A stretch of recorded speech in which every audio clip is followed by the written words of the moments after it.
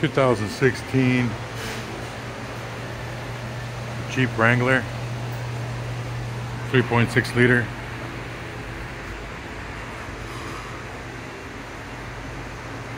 Fuel pump replacement.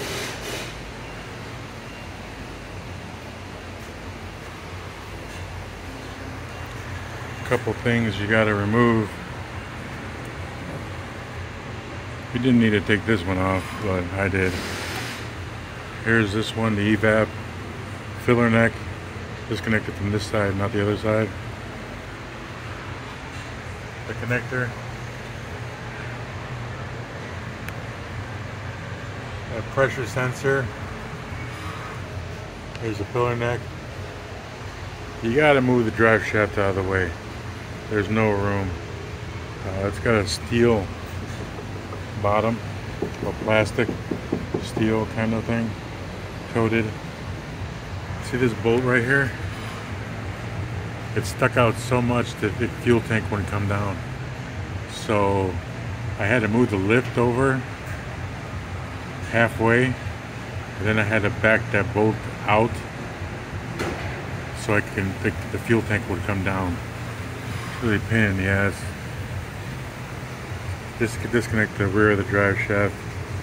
You don't have to take the front off. And then you got two lines in front. This one didn't want to come off. So I just left it and I kind of like let it go up. It's only plastic.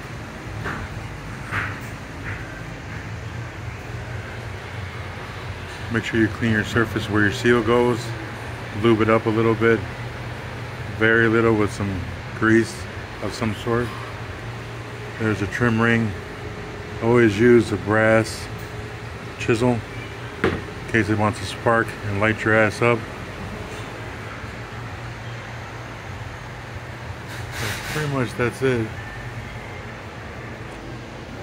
Uh, the bearer of it was that bolt you gotta back it off. It's kind of stupid. Just waiting for my fuel pump and I'll put it back together. It's pretty simple.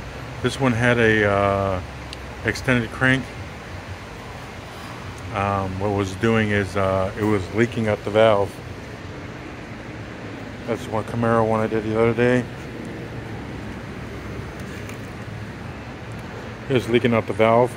So sometimes it bleed down and when it bled down it was extended crank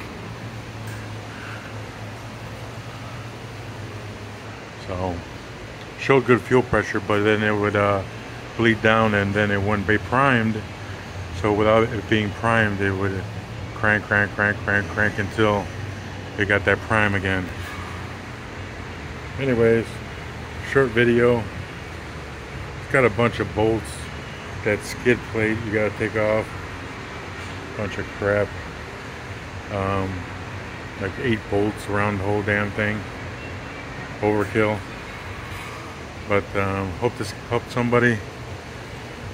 Alright guys, take her easy. Don't do this for a fucking living.